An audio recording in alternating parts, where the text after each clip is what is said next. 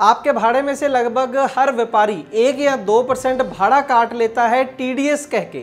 और उसके बाद में वो टीडीएस आपके खाते में भी जमा नहीं होता है। ये कहानी बहुत पुरानी है, लेकिन आज की इस ग्राउंड रिपोर्ट में हम आपको बताएँगे एक ऐसे ऑपरेटर के बारे में जिसने टीडीएस की कटौती को लेकर वहाँ पर पुलिस तक बुला ली। और इसके बाद हम आपको ये भी बताएँगे कि टीडीएस को लेकर आपके हक असल में हैं क्या। तो आइए शुरू करते हैं आज की ये ग्राउंड रिपोर्ट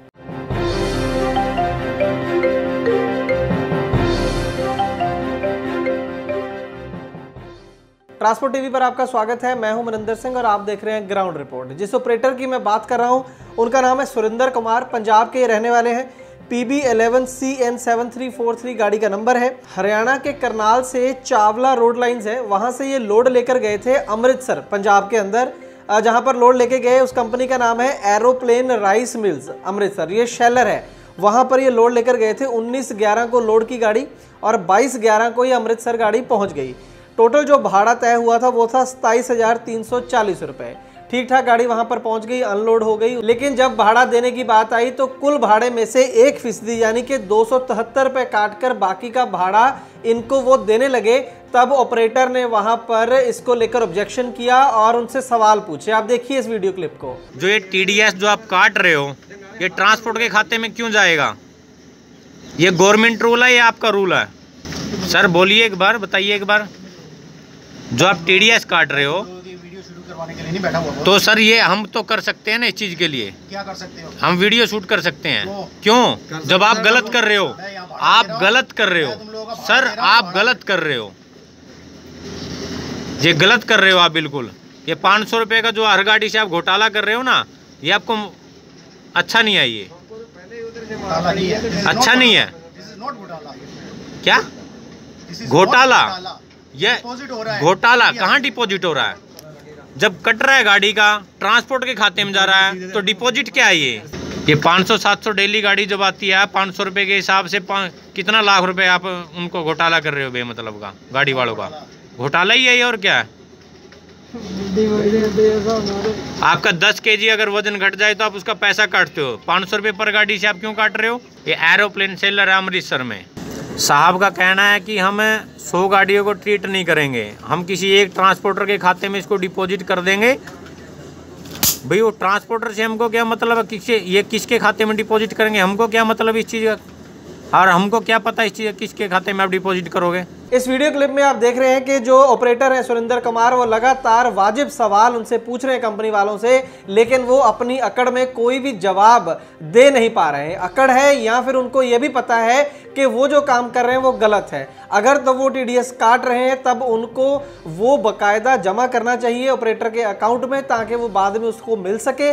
अगर नहीं तो फिर अगर वो नहीं जमा करवा रहे हैं तो फिर उनको काटने का भी कोई अधिकार नहीं है। यहाँ पर एक बात आपको हम और बता दें, जब सुरेंद्र कुमार ने इस कंपनी के जो मुलाजिम थे वहाँ पर उनसे बहस की इस बात को लेकर तो उन्होंने एक बड़ा अजीब जवाब दिया। उनका कहना था कि डेली यहाँ पर सैकड़ों गाड़ियाँ हैं जिनका भाड़ा हम देते हैं। किस किस गाड़ी का हम हिसाब रखेंगे, हर किसी का अलग से टीडीएस काट के हम जमा नहीं करवा सकते हैं। इसलिए सारा जो टीडीएस होता है, वो हम किसी ना किसी ट्रांसपोर्टर के खाते में डाल देते हैं। ये तो एक बहुत ही अजीब बात है और टोटली ही इलीगल बात है। इसको लेकर ट्रांसपोर्ट टीवी की टीम ने चावला रोड लाइन जो ट्रांसपोर्ट कंपनी थी, जहाँ से ये माल लोड हुआ था, उनसे भी बात की। तो उन्होंने बिल्कुल साफ़ मना कर दिया। उन्होंने कहा कि ऐसा तो कभी भी नहीं हुआ, ना ही इसको लेकर हमारी कभी कोई बातचीत हुई है। तो सरासर सीधा सीधा ये एक चोरी का केस है। आपके भाड़े में से एक दो परसेंट बिना वजह काटा जाता है और कहीं भी वो जमा नहीं करवाया जाता ऐसा ही लग रहा है कंपनी के एटीट्यूड से, क्योंकि अगर होता, वो सच में कटवा कर जमा करवाते तो इस तरह का व्यवहार वहाँ पर नहीं होता। खैर, हमने कंपनी से संपर्क करने की कोशिश की, लेकिन उन्होंने हमारा फ़ोन नहीं उठाया। जब कंपनी वालों ने ऑपरेटर की बात नहीं सुनी तो उसके बाद उसने सौ नंबर पर फ़ोन करके पुलिस को वहाँ पर बुला लिया। इसके बाद आप कंपनी का रौब देखिए कि जो ये एरोप्लेन राइस मिल्स है इसके अंदर घुसने के लिए पुलिस को पूरा एक घंटा लग गया। अब यहाँ पर आप बात सोच रहे होंगे शायद कि जो ऑपरेटर है सिर्फ़ दो रुपए के लिए उसने ऐसा क्यों किया? लेकिन ये बहुत ही अच्छी बात यहाँ पर ऑपरेटर ने की है क्योंकि बात सिर्फ़ दो रुपए की नहीं है। अगर आप देखें कि एक साल में एक गाड़ी टोटल भाड़ा लगभग 25 से 30 लाख रुपए इकट्ठा कर लेती है। उस 30 लाख रुपए का अगर हम एक फ़ीसदी भी माने तो साल में तीस हज़ार रुपये वो टीडीएस के रूप में कटवा देता है। कई जगह ये जो कटौती है वो दो फ़ीसदी तक भी है, यानी कि तीस लाख का अगर भाड़ा पूरा साल में हुआ तो साठ हज़ार रुपए की कटौती व्यापारियों ने कर ली, जिसका एक भी पैसा उसे वापस नहीं मिलता। तो मुद्दा तो ये बहुत बड़ा है। और इसके साथ ही अगर ये देख लें कि एक गाड़ी मालिक के पास पाँच गाड़ियाँ हो तो ये रकम आप देखिए डेढ़ लाख से लेकर तीन लाख रुपए तक बन जाती है। तो टीडीएस का ये जो मसला है, वो निश्चित तौर पर बहुत बड़ा है। तो इसके बाद हम आपको बताते हैं, पहले तो स्टोरी में हुआ ये कि जब पुलिस आई तब उसके दबाव के चलते बिल्टी की जो कॉपी थी, उसके ऊपर सिर्फ़ आप देख सकते हैं दो सौ काट कर लिख दिया गया। लेकिन इसका भी असल में ऑपरेटर को फ़ायदा कुछ होने वाला नहीं है। इसलिए आज हम बात कर लेते हैं कि टीडीएस की ये जो कटौती है, जो व्यापारी कर रहे हैं आपसे, उसका हल क्या है? आपके हक क्या है इसके को, इसको लेकर? तो टीडीएस को लेकर अगर हम इनकम टैक्स के नियमों की बात करें तो मोटे तौर पर दो कैटेगरीज हैं। पहली कैटेगरी तो उन मालिकों की है, जिनके पास 10 से कम गाड़ियाँ हैं, और दूसरी कैटेगरी वो जिसमें गाड़ी मालिक के पास 10 से ज़्यादा गाड़ियाँ हैं। दोनों के लिए नियम जो है टीडीएस के, वो अलग अलग हैं। अगर आपके नाम पर 10 से कम गाड़ियाँ हैं तब आपका कोई भी टीडीएस नहीं कट सकता है। जी हाँ लेकिन उसके लिए सिर्फ़ वहाँ पर लड़ना ही काफ़ी नहीं है या फिर पुलिस बुलाना ही काफ़ी नहीं है। उसके लिए आपको थोड़ा सा काम करना पड़ेगा। एक आप स्क्रीन के ऊपर देख सकते हैं ये डेक्लेरेशन फॉर्म है। इसको प्लेन पेपर के ऊपर ही देना है। आ, कोई इसको स्टैम्प पेपर नहीं चाहिए। ये जो डेक्लेरेशन फॉर्म आप देख रहे हैं इसका लिंक हम इसी वीडियो की डिस्क्रिप्शन में दे रहे हैं। आप वहाँ से इसको डाउनलोड करके इसकी 20-25 कॉपियाँ बना के रखें। और ये काफ़ी आसान है, आप अपने अकाउंटेंट से समझ सकते हैं जब भी आपकी गाड़ी माल लेकर जाए, इसको भरना होगा आपको। व्यापारी का नाम होगा, आपका नाम होगा, इसको भर लें। इसके साथ में पैन कार्ड की एक कॉपी लगा दें। तो जब भी व्यापारी आपका डीडीएस काटने लगे, तब उसको आप ये डेक्लेरेशन फॉर्म और पैन की कॉपी दे दें। उसके बाद कोई भी व्यापारी जो है, वो आपका टीडीएस नहीं काट सकता है। असल में होता ही है कि हम भी ये डेक्लेरेशन फॉर्म देते नहीं है, पैन कार्ड साथ में देते नहीं है और व्यापारी जो है उसको एक बहाना मिल जाता है आपका टीडीएस काटने का। वो बाद में जमा करवाता है, नहीं करवाता है, वो एक अलग विषय है। तो सबसे पहले आप समझ गए होंगे कि अगर 10 से कम गाड़ियाँ आपके पास हैं तो ये डेक्लेरेशन फॉर्म भरना है आपको प्लेन पेपर है और साथ में पैन कार्ड की कॉपी लगा दीजिए, आपका टीडीएस नहीं कटेगा।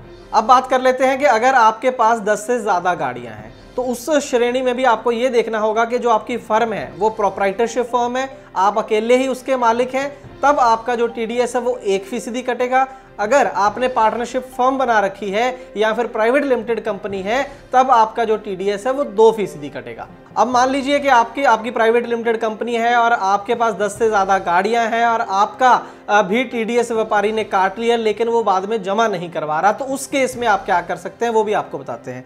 सबसे पहले आपको ये बता दें कि इनकम टैक्स एक्ट का सेक्शन 271 का क्लॉज नंबर एच है। उसके अंदर अगर कोई व्यापारी आपका टीडीएस काट ले और जमा ना करवाए तो उसका दस हज़ार रुपए से लेकर एक लाख रुपए तक का जुर्माना है। जी हाँ ये बात आपको पता होनी चाहिए कि इस, ये एक बहुत बड़ा क्राइम है कि टीडीएस काटना लेकिन जमा ना करवाना।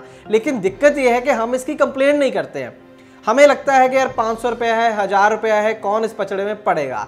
लेकिन अगर हम एक दो बार इनकी कंप्लेंट करें तो व्यापारी के होश टिकाने में आ सकते हैं। अगर किसी की एक बार इनकम टैक्स में ऐसी कंप्लेंट हो जाए तो दोबारा वो किसी ऑपरेटर के पैसे जल्दी जल्दी नहीं काटेगा।